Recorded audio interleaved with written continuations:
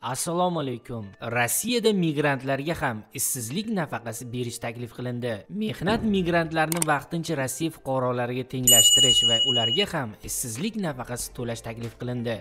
Strategik izlanishlar agentligi rossiyada migrantlar vaqtincha rossiya fuqarolariga tenglashtirishni va ularga ishsizlik nafaqasi to'lashni taklif qildi deb xabar qilmoqda rt tashkilotlar xodimlarini qo'llab-quvvatlash vaqtida rasman ishga joylashgan mehnat migrantlari ham ishsizlik nafaqasi olishi uchun Rossiya fuqarolariga tenglashtirilsin deyilgan Rossiya bosh vaziri Mixail Mishustin nomiga yo'llangan murojaatnomada. Xabarda aytilishiga ko'ra shunga o'xshash chora Portugaliyada qabul qilingan bo'lib u yerda 580 ming migrantlar ushbu davlat fuqarolariga tenglashtirilgan.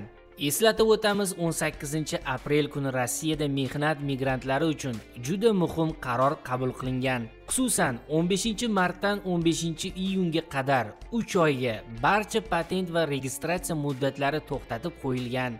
Ya'ni mehnat migrantlari ushbu hujjatlarni uzaytirish uchun to'lovlar amalga oshirishlari yoki huquqni saqlash organlariga murojaat qilishlari talab etilmaydi. Mana do'stlar yangilikka ham eshitdik. Bu yangilik 1 soat oldin chiqqan yangiliklardan bittasi. Tezkorlik bilan sizlarga yetkazilyapti. Kommentariyaga bu yangilikka avtorini qo'yib qo'yaman. Kirib o'zingizlar ko'rib o'qisanglar ham bo'ladi. Endi bu yangilikka o'zimni fikrimni aytib o'tsam. Haqiqatda ham strategik izlanishlar agentligi Rossiya bosh vaziri Mixail Mishustin nomiga murojaatnomani to'g'ri yo'llagan.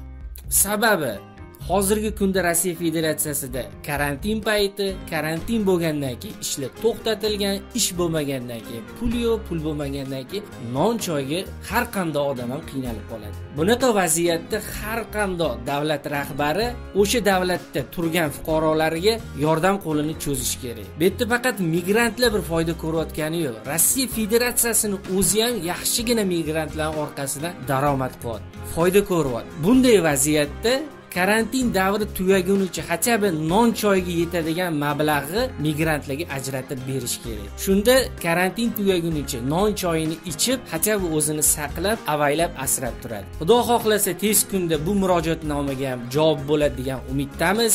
Do'stlar bizada yangiliklar hozircha shu. Kanalni kuzatishda davom eting.